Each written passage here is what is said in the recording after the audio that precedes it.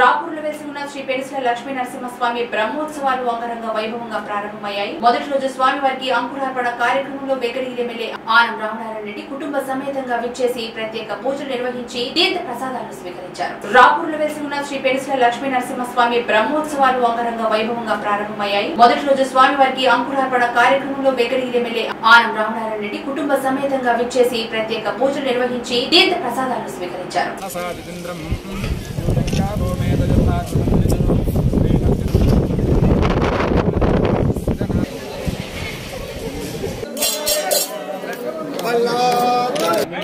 什么白天开车白